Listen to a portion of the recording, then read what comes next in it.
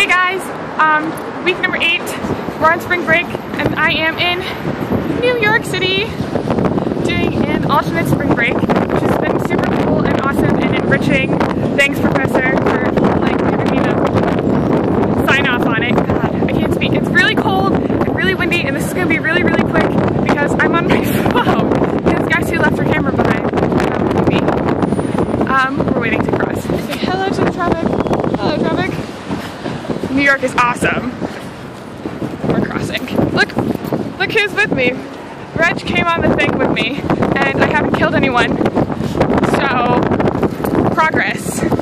Sorry, Siri.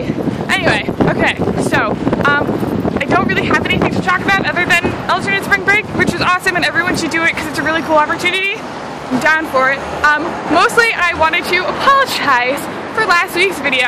Um, in my defense, it was my birthday and so I suppose I should be allowed to do stupid things on my birthday, but I'm really grateful for Alice walking in when she did and stopping me from admitting my feelings or whatever for this person, because I'd really rather tell them first, if I tell them at all, which I probably won't, because what's the point when it's not going to do anything but ruin everything? And I think I'm done talking about this now. Cool. Awesome. Yeah.